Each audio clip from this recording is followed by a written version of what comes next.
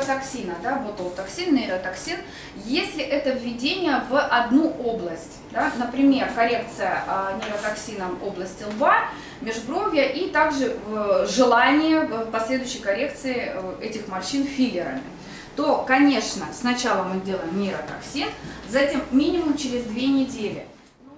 При работе нейротоксинов в периорбитальной области, гусиные лапы, да, правильные и другие проблемы в области верхнего и нижнего века, не забывайте, что круговая мышца глаза, она не вот здесь заканчивается, да, она перекрывает всю скуловую область.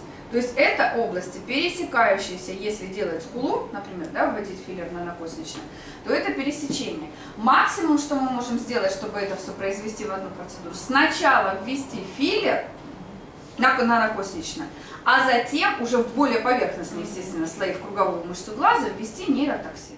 Э, мезобио. Желательно, конечно, да, 5-7 дней, э, чтобы избежать лишней отечности, опять же, воспалительных реакций.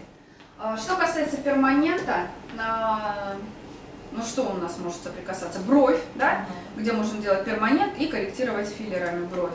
И губы, конечно, в первую очередь. Сначала мы делаем перманент, затем после, опять же, отхождения корок, всех до коррекции, минимум месяц, да.